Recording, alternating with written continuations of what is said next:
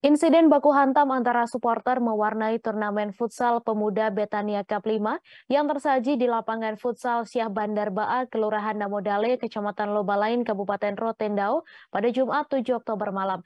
Bahkan insiden tersebut viral di berbagai media sosial di mana terjadi berawal dari luar lapangan hingga berujung masuk ke dalam lapangan dan melibatkan puluhan supporter saling kejar-kejaran. Kericuhan itu terjadi ketika pertandingan di babak delapan besar antara Bintang Mandiri FC dan RC FC sedang berlangsung.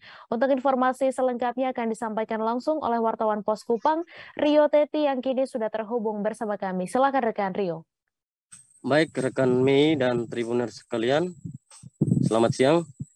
Kericuan antar supporter di babak delapan besar dalam turnamen futsal pemuda Betania Cup yang kelima terjadi di lapangan futsal Sabandar Baa, Kelurahan Namodale, Kecamatan Lobolain, Kabupaten Rotendao. Insiden terjadi sekira jam 8 malam waktu Indonesia Tengah pada hari Jumat 7 Oktober tahun 2022. Kapolsek Lobolain melalui Kanit Intelkam Aibda Yaya Ipobas menerangkan tentang perihal kejadian. Awal mulanya terjadi perkelahian antar penonton atau supporter di babak delapan besar turnamen futsal pemuda Betania Cup 5 yang terjadi di luar lapangan hingga ironisnya adu jotos tersebut masuk sampai ke dalam lapangan pertandingan. Adapun kronologisnya pada hari kemarin malam sekira jam 6 lewat 30 menit bertempat di lapangan Sebandar Baa berlangsung pertandingan pertama di babak 8 besar yang mempertemukan tim Bante 014 melawan Liverpool SK. Pertandingan pertama berlangsung lancar dan aman.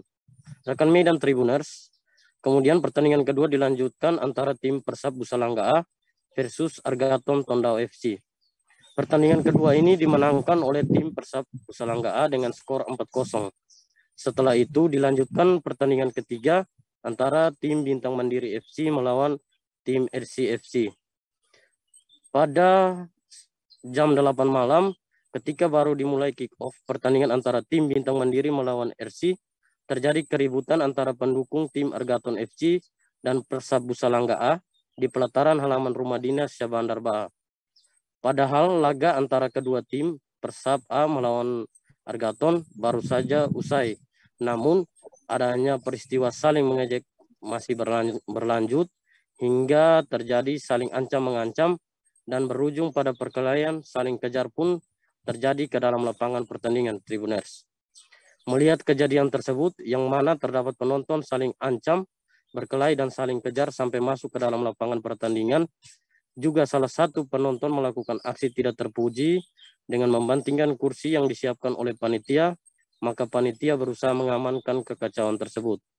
Pada saat pengamanan, terjadi pemukulan secara bersama-sama terhadap oknum penonton pendukung tim Argaton FC yang bernama Kenneth Jacob Stadak. Dengan situasi perkelahian sudah yang melibatkan banyak orang, Dijelaskan Kanit Intel Kam Polsek Global lain, anggota gabungan Polres Rotendao dan Polsek Global lain yang bertugas mengamankan pertandingan langsung berupaya mengamankan situasi dengan melerai yakni memegang dan mengamankan Kenneth Jacob Stadak ke tenda inspektur pertandingan. Berdasarkan keterangan saksi, Roland Ado alias Emon, bahwa ketika melihat adiknya Kenneth Jacob Stadak yang diamankan oleh polisi maka ia berlari menghampiri adiknya lalu bertanya tentang kejadian tersebut kepada adiknya.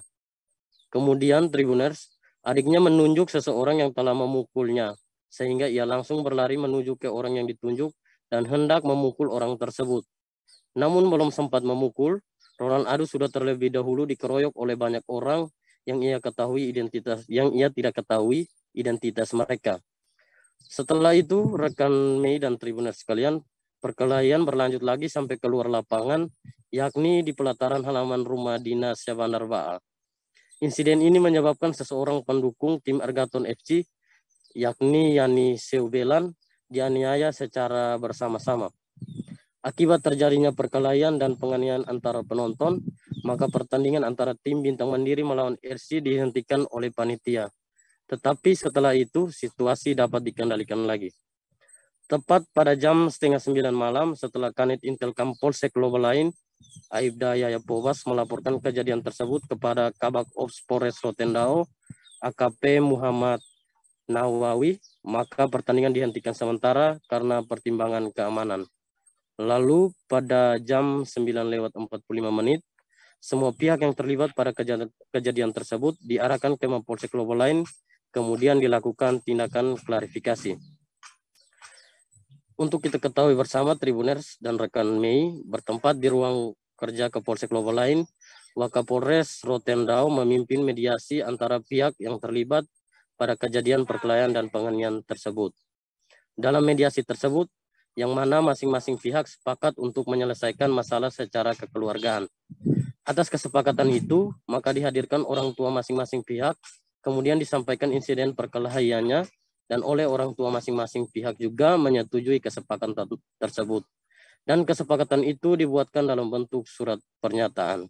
Sebagai informasi Tribuners dan rekan Mi, insiden perkelahian itu setelah dilakukan klarifikasi, diperoleh fakta bahwa hanya melibatkan oknum pendukung tim Argaton FC dan juga tim Persab Busalangga A setelah kejadian, masing-masing pihak diarahkan dan dibawa ke Mapolsek Lobo lain guna dilakukan klarifikasi.